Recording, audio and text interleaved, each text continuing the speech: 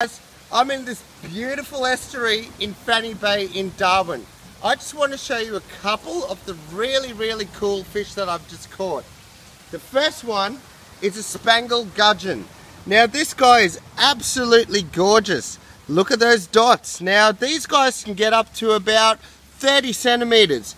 The next one is really cool. This guy is called a Prionobutis microps.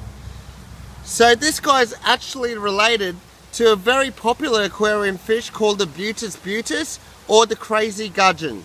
Pretty cool, hey?